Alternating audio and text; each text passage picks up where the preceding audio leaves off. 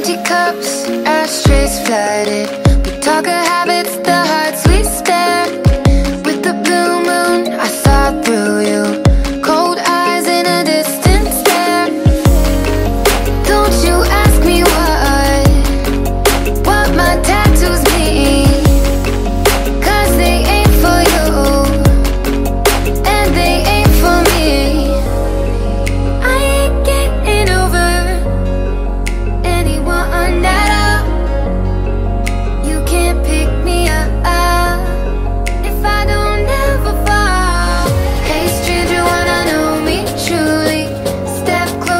surprise